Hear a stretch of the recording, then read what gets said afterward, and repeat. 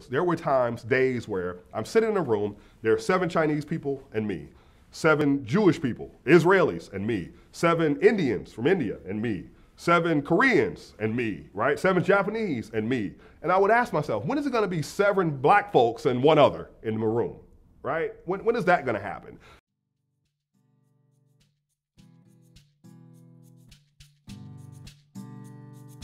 Hakeem Oluseyi. It is spelled I-T. No, no, no. Come on. Okay, all right, start over. Take two. All right. My name is Hakeem Oluseyi.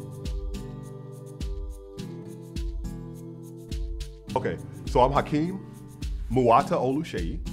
I am a professor of physics and space sciences at Florida Institute of Technology, also known as Florida Tech.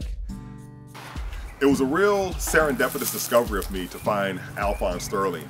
Um, I, I, began, I left California, I was working at Lawrence Berkeley Laboratory, and I took a position in Northern Alabama. I was 50% um, with the university there, and 50% of my salary was paid for by NASA, Marshall Space Flight Center. And I interacted with the solar physics group at NASA, and Alphonse uh, spends most of his time in Japan, actually, although he's a NASA employee. Uh, I'm Alphonse Sterling. Um, I'm a solar astrophysicist and I'm uh, officially uh, employed by NASA, uh, Marshall Space Flight, Space Flight Center in uh, Huntsville, Alabama. Um, I'm actually, though, living and working here in uh, Japan, and that's where I'm at right now. that's downtown Tokyo back there. So Alphonse, I ran into him at NASA and we began to chat and we had some common interests. And so I asked him if he would be interested in attending a conference I was organizing around the 2006 uh, total solar eclipse. The, um, the idea was that of my colleague, uh, Dr. Jarita Holbrook. She asked me to work with her to organize a, a session on solar physics and Alphonse was, is a great solar physicist. So I asked him if he would be interested in attending. Currently, I'm working on a, uh, a, uh, joint satellite project. The satellite observes the sun. It's called Hinode, launched in 2006. In November of 2012, my students and I will travel to Cairns, Australia to take scientific observations of the total solar eclipse.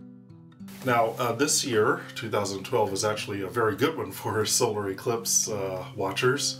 Um, there are a couple of different types of eclipses.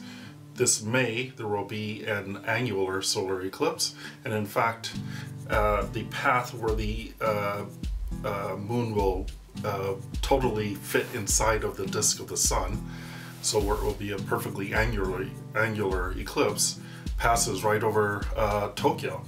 So I hope to be able to uh, make observations uh, right here from my balcony of that event. Uh, one of the phenomena that I've been observing uh, over the years is solar eclipses, and I'm trying to use solar eclipse data to understand better some particular features in the solar atmosphere.